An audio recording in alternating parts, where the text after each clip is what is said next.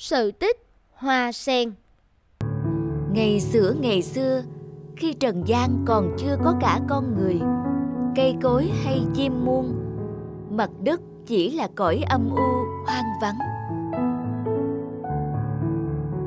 Đằng kia sao âm u vậy nhỉ? Chẳng phải dưới đó là trần gian sao? Nhìn cảnh âm u này thật khiến ta phiền lòng. Đúng rồi, ta sẽ ban cho Trần gian số hạt giống trong kho. Chẳng bao lâu nữa, dưới đó sẽ là những sắc màu tươi tắn của sự sống.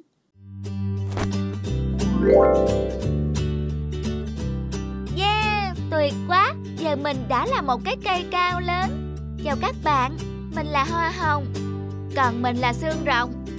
Xem kìa, đã có sự sống rồi, trông mới thật tươi đẹp làm sao. Tôi hạt giống đã được reo hết rồi mà nhí, chả nhé còn sót sao? Đúng là còn sót thật. Mày hãy xuống dưới kia và bắt đầu cuộc sống của mình nhé. Này này, chỗ này là của tôi, cậu đi kiếm chỗ khác đi, chỗ này là của chúng tôi rồi. Cậu không thấy ở đây chật hết chỗ rồi sao? Đúng đó, cậu đi chỗ khác đi. Chỗ này là của chúng tôi rồi. Tôi cần nhiều chỗ để còn lớn lên nữa. Cậu đi chỗ khác đi. Chỉ vì bị sót lại mà giờ chẳng còn chỗ nào cho mình nương thân nữa rồi. Mình biết đi đâu đây? Tại sao Thượng Đế ban hạt giống cho mọi nơi mà chỉ chừa lại mình? Thôi, bạn than vãn trách móc gì Thượng Đế chứ? Là Thượng Đế ban hạt giống xuống, nhưng mà chúng tôi tự chọn nơi sinh sôi cho mình mà. Đúng đó, có trách thì hãy tự trách mình ấy. Chẳng phải vì cậu đen đúa, hôi hám nên không ai dám lại gần đấy sao? Tôi lỡ phải sống gần cậu thế này thì giờ thật hối hận quá. Là tiếng khóc của ai nhỉ? Này, bạn hạt giống ơi, có chuyện gì mà bạn khóc thế? Mình đã bay theo gió khắp nơi, nhưng đi đến đâu cũng bị xua đuổi. Mình chẳng biết phải tìm chỗ nào để sinh sống nữa. Ồ, vậy bạn hãy xuống đây với tôi cho vui. Cũng vì đen đúa, xấu xí mà chẳng hạt giống nào chịu ở đây. Nếu bạn đồng ý, tôi sẽ cố hết sức để giúp bạn nảy mầm và dành cho bạn thật nhiều dinh dưỡng từ trong lớp bùn của tôi. Được, vậy thì tốt quá. Ơi, đúng là dại dột, cái đầm ấy nước thì đen đục, bùn thì hôi, ai ở cho được, dại quá.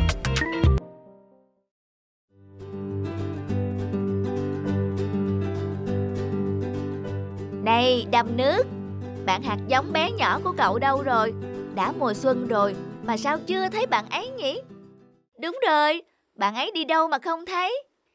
Chẳng phải cậu bảo sẽ dành cho bạn ấy những dinh dưỡng tốt nhất sao? Liêu, có chuyện gì với bạn ấy nhỉ? Ôi, nắng mùa hè mới nắng gắt làm sao? Mới sáng ngày ra mà nắng nóng, nóng quá. Ủa? Chào bạn, chẳng phải bạn chính là hạt giống nhỏ hôm nào đấy chứ? Chào các bạn, mình chính là hạt giống nhỏ đó đây. Tuyệt quá, vậy là bạn đã mọc lên rồi. Mà nhìn nụ hoa của bạn kìa, trông thanh mảnh, duyên dáng lắm. Không biết khi nở ra sẽ thế nào nhỉ? Tò mò quá.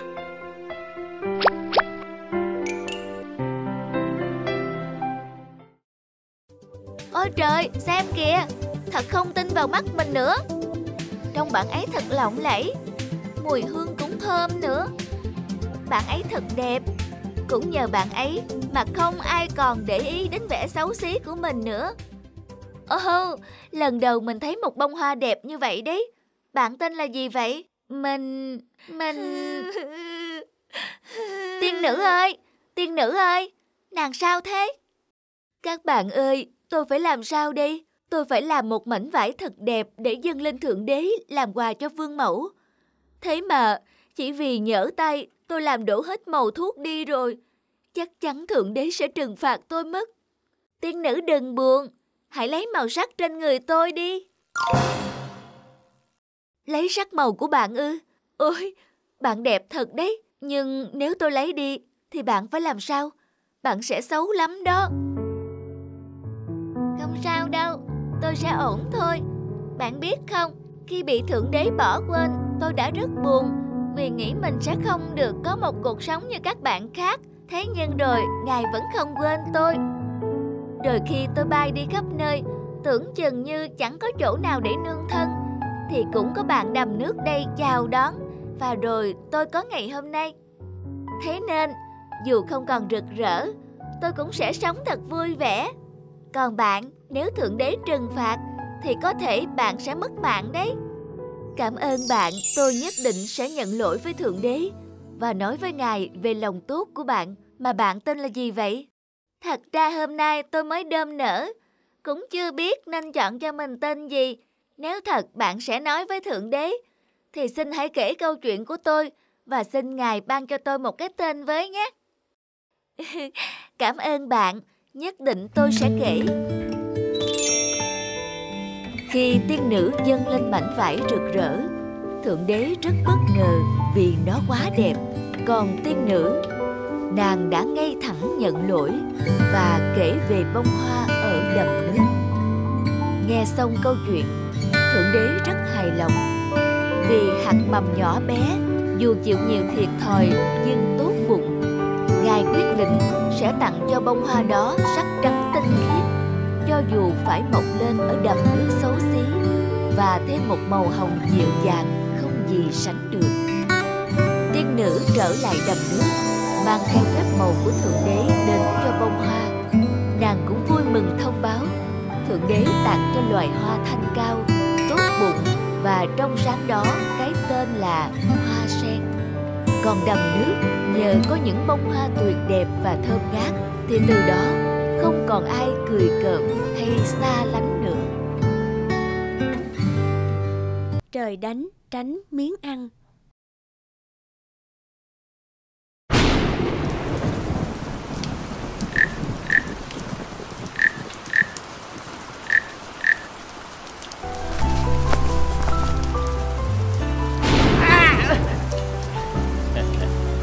Đã diệt trừ được thêm một tên gian ác rồi. Lần này ông không hành quyết sai người đó chứ. Hey, Sai là sai thế nào? Cứ nói bừa. Là một người nóng nảy Ông Sắm không ít lần xử sai người, sai tội. Vì vậy hai vợ chồng ông Sắm, bà Xét thường xảy ra xích mích. Việc ảnh hưởng tới sinh mạng người khác Ông phải cẩn trọng chút chứ. Hey, Trăm công ngàn viên Nơi này cầu, nơi kia gọi Trách làm sao được nhầm lẫn Mỗi lần ông sấm và bà sét cãi nhau Bầu trời lại một phen vân vũ Đi đoàn sấm sét Khiến nhân gian một phen hốt hoảng. Những ngày mưa thuận gió hòa Mùa màng tốt tươi Cuộc sống chốn nhân gian thanh bình, yên ổn. Nhưng mọi thứ không phải lúc nào cũng dễ dàng, suôn sẻ. Với những người nông dân sống bằng việc đồng án Mọi trông mong của họ đều đổ dồn vào một vụ mùa bội thu. Thời tiết thì thất thường, khi thuận lợi, có lúc lại khó khăn.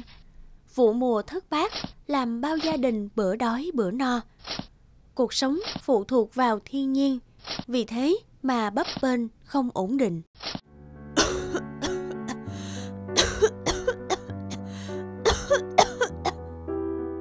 Bây giờ cha ra đồng Con ở nhà chịu khó chăm sóc mẹ nha Dạ vâng hả Nắng quá thì cha về nhà nghỉ cho đỡ mệt nha cha Mẹ ơi, Mẹ uống thuốc cho chống khỏi ạ à?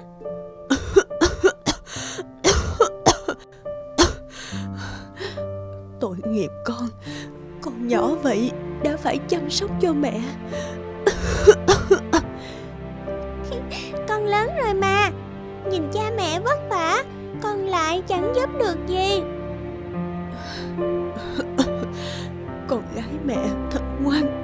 Và hiểu chuyện.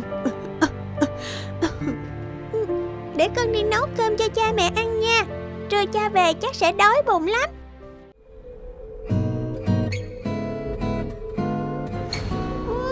Hết gạo mất rồi. Còn còn gạo không con? Dạ Vẫn,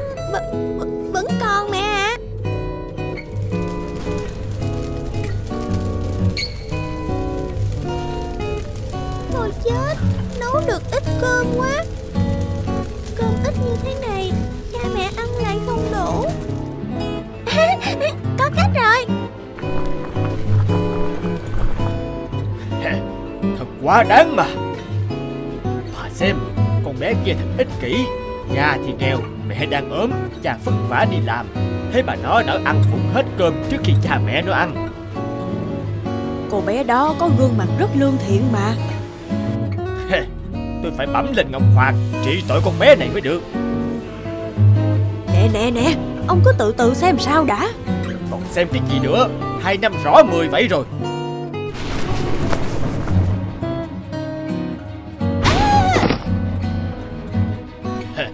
Kẻ bất hiếu Phải bị nghiêm trị. Ngươi thật không biết thương cha mẹ khó khăn. Nhẫn tâm dành hết miếng ngon về mình trước. Ngươi đã lén ăn vụng hết cơm dưới bếp không bàn tới mẹ đang ốm Cha vất vả làm đồng.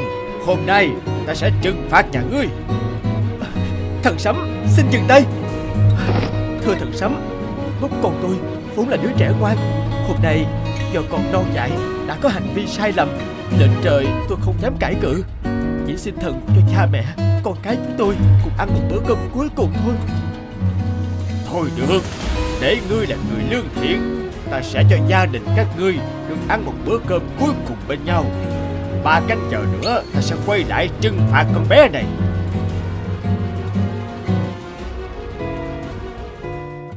Bớp à Chuyện thần sấm vừa nói là thế nào hả con? Con Con Con không phải Con không phải con tham miếng ăn đâu cha. Được rồi được rồi. Cha biết Bớp là cô bé ngoan mà. Đúng rồi của mẹ. Con Con nấu cơm trưa Thì trong bồ hết gạo. Con nghĩ cha mẹ thấy ít, Nhất định sẽ nhường cho con. Mất công cha mẹ lại đói, Nên con Con đã húp hết nước cơm cho nó.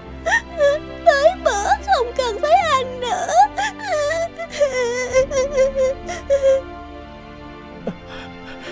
Bớp bà. Con gái. Đàn ông trụ cột gia đình Mà không lo cho vợ cho con đủ cái ăn. Tôi đáng bị trừng phạt mà.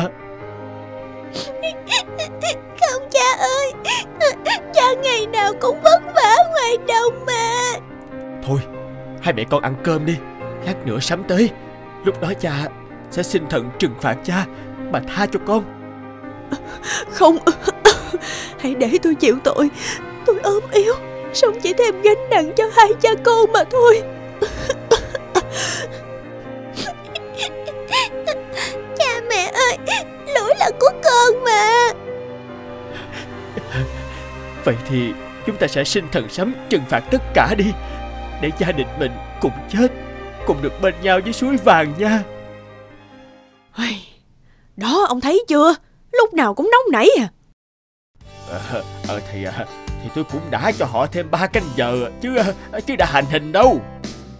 Ông thấy không? Người cha kia chỉ là một nông dân Nhưng rất cẩn trọng. Chuyện lớn xảy ra Ông không vội trách móc mà hỏi han Lắng nghe con mình giải bày. Ờ ừ ờ, ừ, thì à, à, mà à, giờ tính sao? Không hành hình con bé nữa thì hóa ra tôi sai à? Ừ, thật à, thật mất mặt mà Làm sao có thể hành hình một cô bé hiếu thảo như vậy được? Còn chuyện mặt mũi của ông á thì các người giờ hành hình đã tới nhưng lại nhằm trúng giờ ăn nên à, nên ta không thể ra tay. Luật lệ của thiên đình là không hành hình kẻ đang ăn uống. Cảm ơn thần sấm.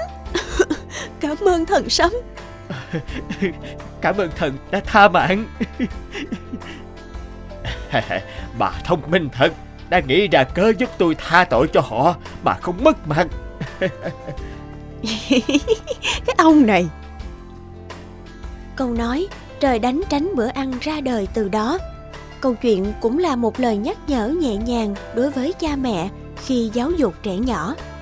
Không ít các bậc cha mẹ thường vào bữa cơm lại la mắng, phê bình trẻ nhỏ, phá hỏng đi không khí ấm cúng và vui vẻ của bữa cơm gia đình ảnh hưởng đến sức khỏe và tâm lý của các con. Vì vậy, ngày nay thành ngữ trời đánh tránh bữa ăn được dùng để ngụ ý, nhắc nhở người lớn không nên trách mắng trẻ nhỏ trong lúc ăn là vì thế. Đứa con 3D bộ phim dựa trên một câu chuyện có thật về một gia đình ở Hàn Quốc.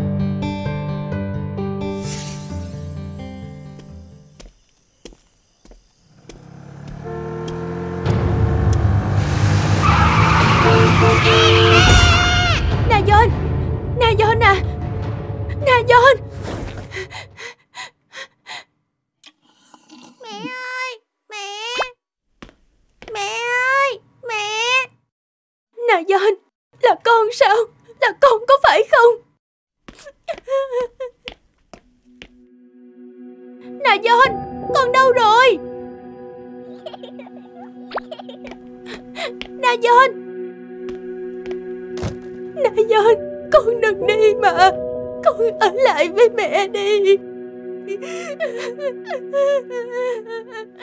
Suzy Em lại gặp ác mộng rồi Ảo giác phải không?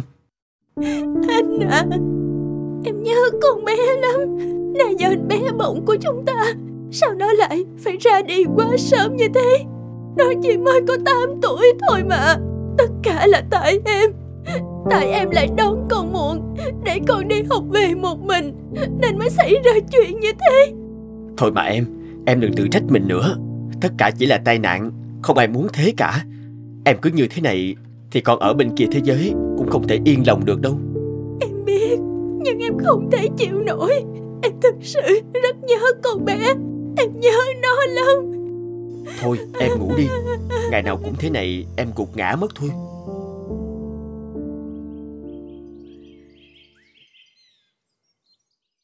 Em à Ra ăn sáng thôi Anh nấu xong hết rồi.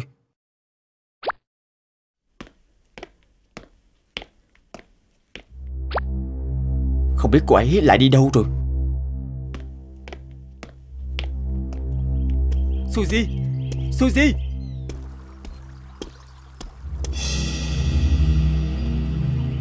Suzy kia rồi. Chẳng lẽ cô ấy định tự tử sao? Suzy Em làm gì thế? Anh, sao anh lại đến đây? Sao em lại ra đây làm gì Không phải em định bỏ anh mà đi chứ Anh à, tháng sau là sinh nhật của Nayon rồi. Em đã hứa mua cho con búp bê làm quà. Sinh nhật con năm ngoái, vì bận việc nên em đã không được ở bên cạnh con. Năm nay em định tổ chức một bữa tiệc để bù đắp cho con. Vậy mà lại không được nữa rồi. Em có lỗi với con quá. Mọi chuyện chỉ là ngoài ý muốn thôi. Em không hề có lỗi Con cũng sẽ không trách em đâu. Em đừng thế nữa mà. Mãi mãi em không bao giờ được dự sinh nhật cùng con nữa rồi. Em không muốn sống nữa. Em thật sự rất nhớ con. Anh để cho em chết đi mà. Em bình tĩnh lại đi. Đừng có như vậy được không? Nếu em cứ như này Anh sẽ đưa em vào bệnh viện đấy. Em không biết. Em thật sự không biết làm thế nào?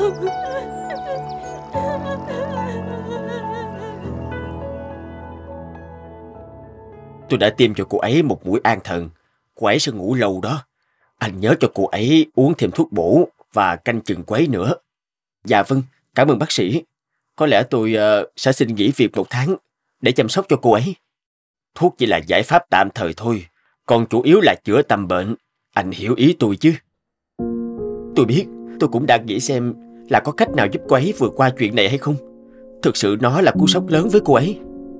Uchin này, Anh thử tham khảo chương trình này xem, Biết đâu sẽ có ích cho hai vợ chồng anh. Chương trình thực tế ảo ư? Vậy để tôi xem thử. Cảm ơn bác sĩ ạ. Anh hãy thử gửi câu chuyện của mình đến chương trình, Cùng thông tin của bé xem sao Biết đâu chương trình sẽ đồng ý hợp tác với anh.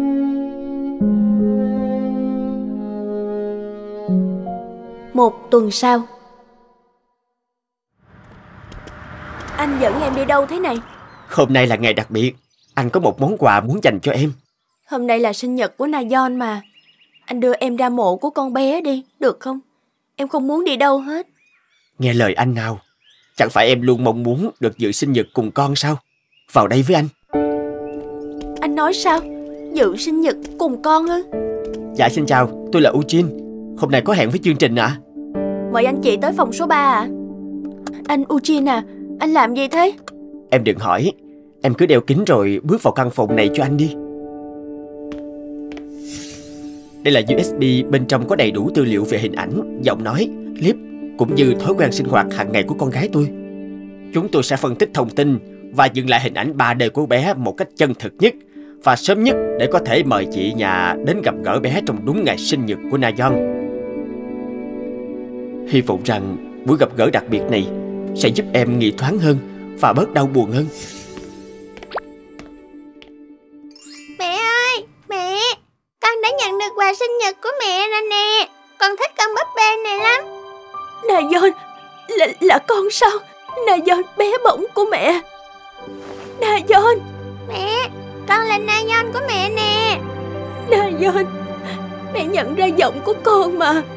Đúng là con rồi, mẹ nhớ con lắm, Na Yeon. Mẹ ơi, mẹ đừng khóc. Con cũng nhớ mẹ rất nhiều. Mẹ xin lỗi, mẹ là một người mẹ không tốt. Mẹ đã không bảo vệ được con. Là tại mẹ, tại mẹ. Mẹ không thể thực hiện lời hứa là cùng con dự sinh nhật năm nay. Mẹ thật tệ có phải không? Con giận mẹ lắm, phải không con? Mẹ đừng như thế mà. Chẳng phải mẹ con mình đang tổ chức sinh nhật cho con sao? Quà của mẹ con nhận được rồi mà. Tuy con không còn ở bên cạnh mẹ nữa, nhưng lúc nào con cũng giỏi theo mẹ. Con mong mẹ đừng đau buồn nữa nha. Mẹ con có ba mà. Mẹ như thế, ba cũng sẽ rất đau lòng đó. Ba của con sao?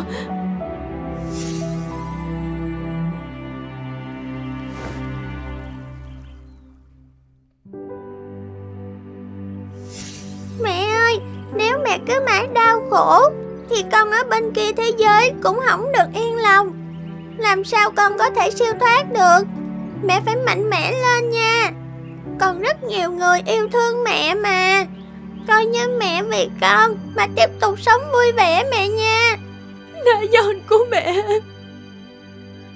Nào, bây giờ mẹ con mình cùng ăn tiệc tổ chức sinh nhật nha mẹ. Mẹ đã thổi nến mấy con đi. Ờ, mẹ ra ngay đây. Sinh nhật năm nay Con ước mẹ sẽ không bao giờ phải khóc Phải buồn vì con nữa Mẹ phải thật mạnh mẽ Mẹ nha Mẹ còn có ba ở bên cạnh mà Ba sẽ thay con chăm sóc cho mẹ Mẹ phải cười tươi lên mẹ nha Cảm ơn con. Từ giờ mẹ sẽ thật mạnh mẽ. Mẹ không để Na Yeon phải lo lắng cho mẹ nữa. Mẹ hứa nha Mẹ hứa. Happy birthday to you. Happy birthday to you. Hãy like, comment, subscribe kênh để xem thêm những video mới nhất nhé.